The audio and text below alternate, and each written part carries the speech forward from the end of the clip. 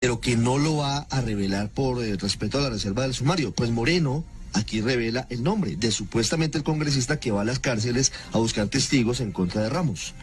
que es el senador del Polo Democrático, Iván Cepeda.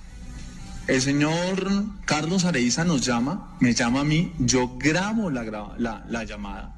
eh, y dice que tiene información de personas que están detrás del señor Luis Alfredo Ramos. Eso queda grabado, se denuncia, se pide permiso, se le pone en conocimiento a la corte, nadie va a lo entrevista y va un investigador y, el, y, y, si no recuerdo, tal vez Pinilla, eh, no, no, no recuerdo exactamente si fue solo el investigador o Pinilla, se reúnen, graban, creo, la, la, entrevista y es cuando él dice que Iván Cepeda y otras personas le han pedido que declare en contra